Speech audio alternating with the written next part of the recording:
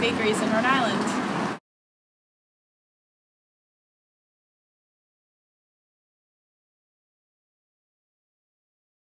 January of 2001, under the roof of Jim and Lynn Williams, Seven Stars Bakery. Seven Stars Bakery has expanded to three locations.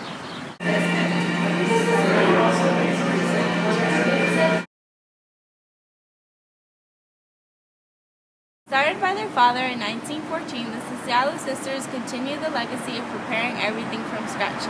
Their treats are so delicious that even the Food Network had to visit. They specialize in Italian pastries, so you can't go wrong coming here.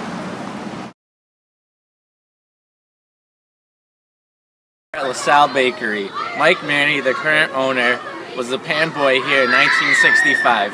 When he got out of college, the owner gave him the keys to the building and he has kept the baking legacy alive.